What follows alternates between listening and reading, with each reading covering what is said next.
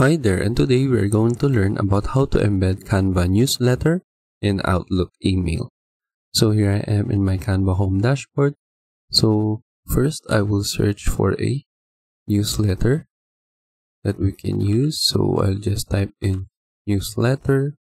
And then for example, I'll just select a template right here. So for example, this one.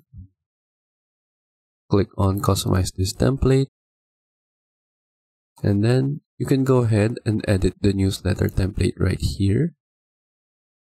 And to embed this newsletter in a Outlook email, we need to share this newsletter and first we will download it as a PNG.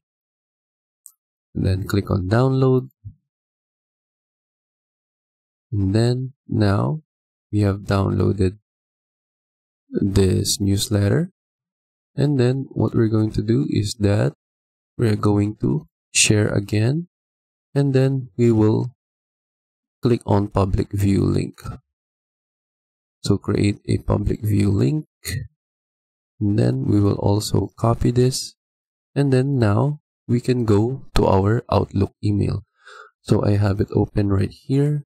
And then for example i will create a new email and then I will say right here newsletter or like monthly newsletter.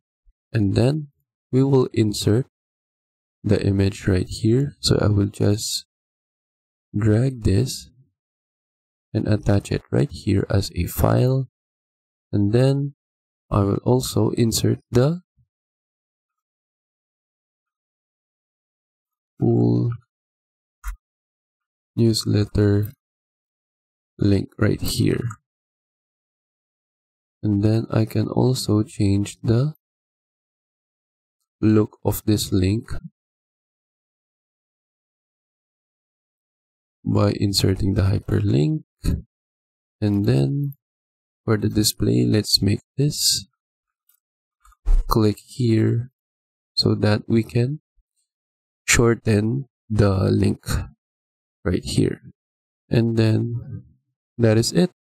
We can just send this to a different person. Or for example I will send it to myself.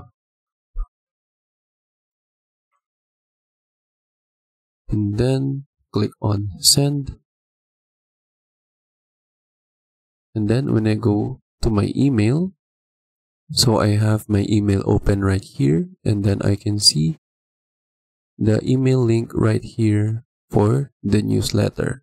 So I have this image and then I can also click this link so that I can view it in a new tab so that it is more larger. And then that is it. That is how we embed the Canva newsletter in an Outlook email. I hope you learn how to do it and thank you for watching.